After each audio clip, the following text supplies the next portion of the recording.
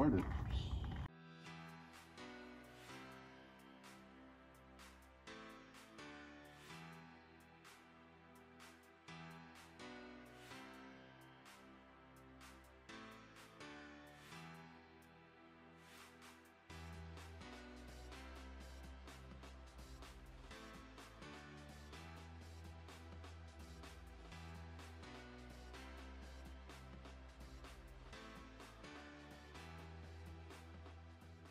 That pilot almost had us on the side of Jacksonville, Florida. That was insane. What's going on YouTube? Today I'm in Jacksonville, Florida, picking up one of my first, or actually my first bagged car, or I guess stance car. Um, as you guys see by the thumbnail, you guys already know what it is. If everything goes well, which it should, um, but it's super cold here. It's like a 55 degrees. Um, it was super windy on the plane. And I'm just waiting for the guy who I'm buying it from to uh, head over here. He's uh, got a little lost in the airport, but um, yeah, I know it's. Uh, I'll tell you a little bit more about the car when I go check it out. Today's uh, March 6, 2021.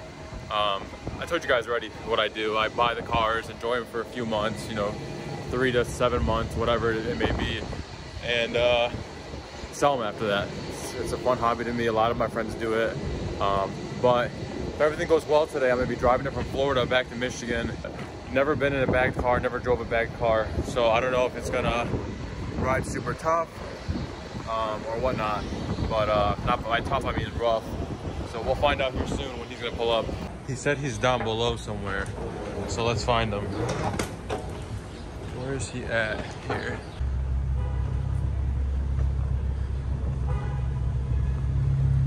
Guys, it's a done deal. Got the deal done with the uh, previous owner and I'm on the way home now.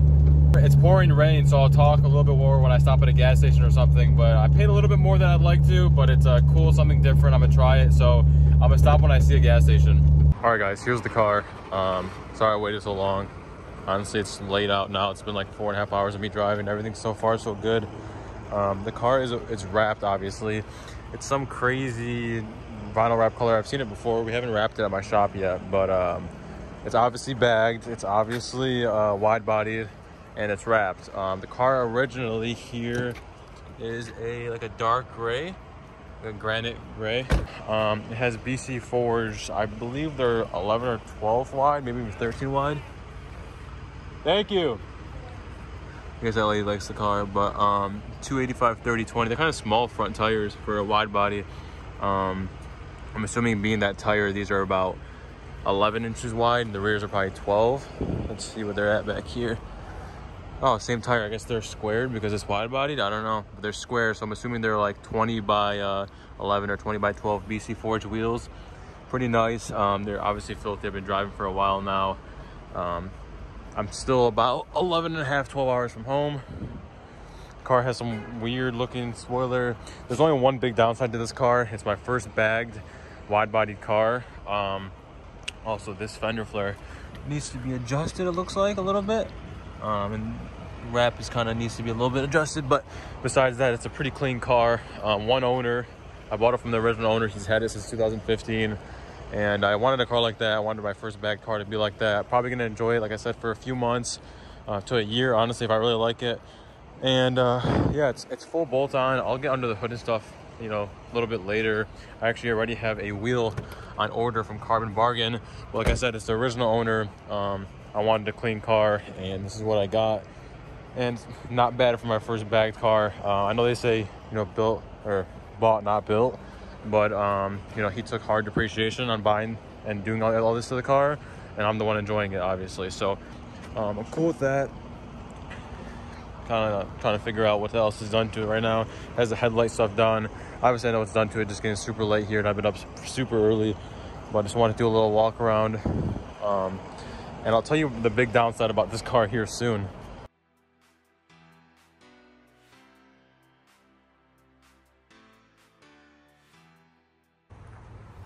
Just met this guy Archer. Your name's Archer, right? Yeah, Archer. Like archering, like uh. Just met him at the gas station. Are we in South Carolina or North Carolina? Oh, that's North Carolina. Just met him in North Carolina. Here's his uh his GT the S197.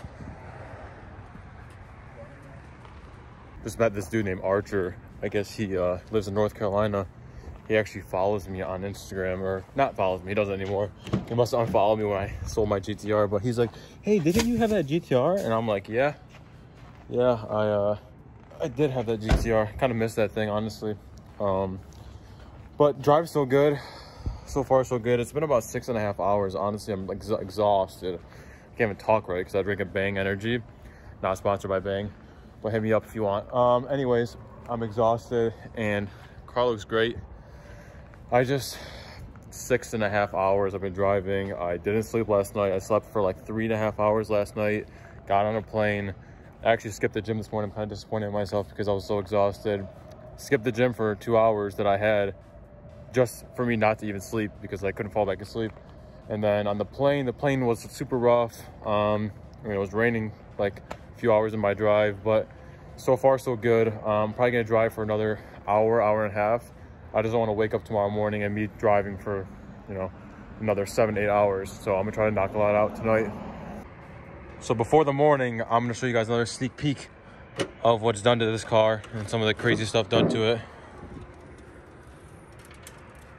Well, there's something rattling in there, but probably just like a rock. But sweet uh, Rockford subsystem and has the uh, full air compressor kit. I like how they actually wrap it around here. It's pretty cool. There's actually something clicking back here. I think it's these just rubbing on each other.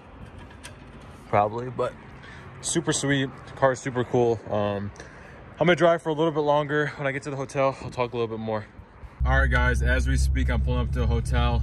I'm gonna go to sleep and I'll see you guys in the morning.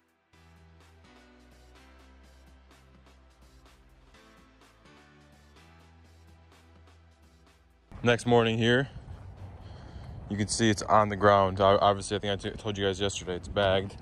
Um, only problem is the battery died in the key and I didn't lock it. So I was hoping nobody would get in here and they didn't. I wanted to show you guys the exact ride height it sits at.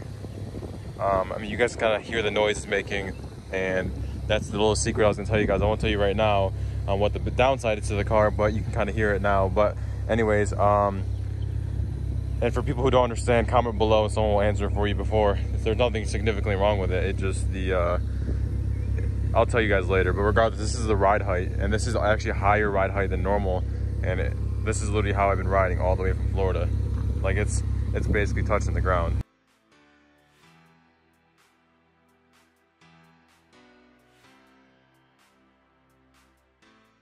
Stopped here at the Mustang at some weird stop in West Virginia. Um, but I'm gonna talk to you guys a little bit about the downside to the car, which is not really a downside to some people, um, especially me, I don't really mind it.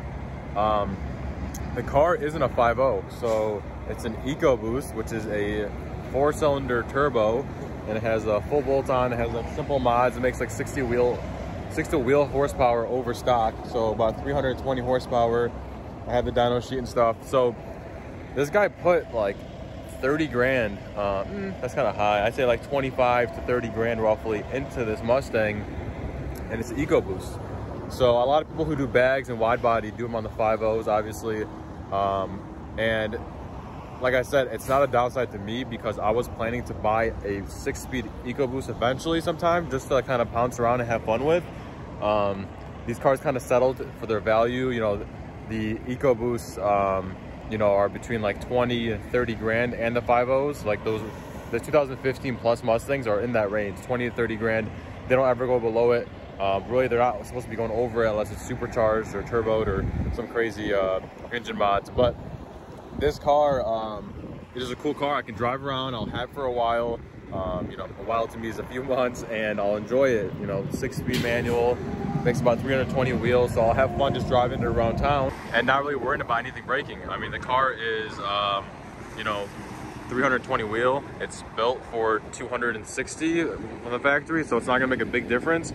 Being uh, slightly, mo slightly modified, I can putz around town with the six speed, bang some gears and not really worry about anything. Um, car has a super cool wrap, which it needs to be adjusted a little bit knowing, you know, I'm I own a professional wrap shop, so little things here and there obviously bother me, but to the blind eye, you wouldn't really tell. Um, which, you know, I'll get that adjusted here here soon. Um, but it has these nice like $7,000 BC forged wheels and tires. Um, it has the like $3,500 air ride suspension kit. Obviously that's not including installation or anything. Um, has full exhaust downpipes. Here, I'll pop the hood for you guys to see. Um, about six hours away from home still. What? Okay, let me open the hood really quick. So like I said, the car is a four cylinder turbo. It has JLT intake, a few other JLT mods. Um, I have to look back at the build sheet. I've strut tower brace. Um, I, I can't I think the turbo, I think that is the turbo right there. It's super small, so you can't even really tell. Downpipe right down there. Has a bunch of TruFiber carbon fiber pieces on here, all real carbon fiber pieces, uh, engine cover, all stuff like that. Um, headlights, I believe, are tinted and they have the RWB or whatever you call it, the uh, LEDs in them. So it's a pretty cool build. It's something simple enough to where I'm not like super in it and super like modified and I'm scared that something's gonna happen to it. And um, that's pretty much that. Yeah, so here's the car, my first stance car. A lot of people are gonna hate and be like, oh, that thing's ugly, that thing's whatever. Um, I think it's cool. Every car scene has different leagues of scenes. The racing scene, the stance scene, the, you know, uh, I don't know, Honda scene. I mean, there's scenes for everything. The car meet, the Corvette guys that go at seven o'clock in the morning to car meets. There's a bunch of different scenes. And, you know, I've been in the racing scene for a while and the show car type of scene, but never in this type of scene. So I wanted to try something new. And plus you don't see many of these cars up in Michigan. Um, I bought this car from Florida, so that makes more sense than anything. You know, Florida and California have a lot of cars like these, but it's not just the EcoBoost, the EcoBoost Premium. Um, interior is a little bit dirty because obviously I'm driving far, so it has all the leather, leather here, navigation. It's a six-speed manual. I can tell how fun, how fun like pouncing around town. Um, and I showed you guys the trunk mod, so I'm gonna kind of head home. Here's like a little like introducing the car here. If you guys have any questions, just leave them down below. But I'm gonna pretty much end it off here for the talking part and I'm gonna head home. I got about six more hours left. This dude's in front of me right now in uh, G, G37, G35. I'm not sure what that is, honestly. The car's been popping like crazy. I think he thinks it's shooting flames, but it's not. Guys, that's exactly what I mean when a different scene. Like that guy's in the whole stance scene. He has a wrapped car with like stance wheels, super low to the ground, and it pops. It's like a V6 or a four cylinder. I've never been against the scene or anything. I just have never had a car that would fit that criteria really at all. I wanted to try like a different scene, you know, get get into meeting different people and you know talk about cars and stuff. And yeah, obviously it's not something I built, but it's something different. I can go and like go to car meets and talk to different people about it and learn about this scene. I love cars, all makes, all kinds. Um, you know, maybe one day I'll even get a classic car so I can learn more about that. I'm not a big classic guy. I'm into like the new generation uh, cars. But this is exactly what I'm talking about. Like that guy was recording it and loved it. Same thing with that guy, um, Archer at the gas station. Just different type of scene people, you know? Like that guy was a Mustang guy at the gas station. This guy is actually like the stance type of guy.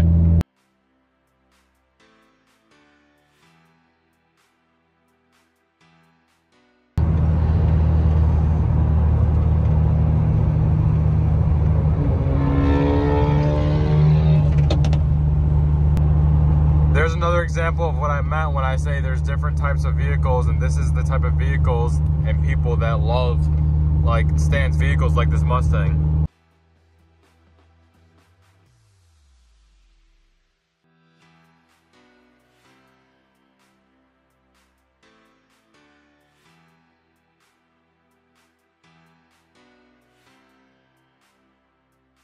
Just made it home. Let's check my trip. So Oh, wow, look at that. I didn't know I was gonna even hit it. 1,000 miles I drove in the past uh, two days here and 15 hours and 24.5 miles per gallon. that's the 340 wheel EcoBoost for you guys. But I'm gonna actually go mount my camera and I'm gonna air this thing down.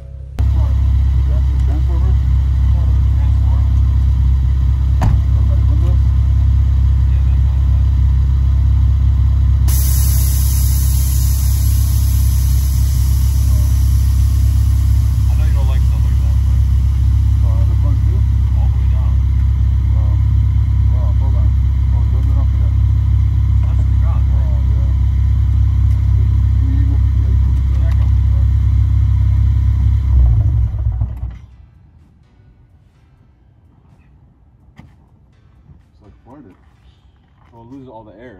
There's those airbags in there. All right, guys, is pretty much where I'm at off the video. Got home all the way from Florida. Pretty quick trip. Um, I think I flew out yesterday, which is Saturday. Got there like five. Uh, drove for a little bit, went to a hotel, slept, woke up today, 10 o'clock uh, Sunday night, and I'm here. Um, I'm probably not gonna post this video until like Tuesday or something. Tomorrow I'm gonna get an oil change and uh, a few other things done to it, and I don't want anyone obviously going to try to see the oil change where I take it to or whatever, or try to show up there. But regardless, um, if you guys have any questions, have any places you think I should take the car, any more mods I should do to it, anything like that, uh, any videos you want me to do on it, leave them down below. Besides that, follow me on Instagram. It's at sinister underscore lifestyle. Besides that, guys, I'm out of here. Thanks for watching.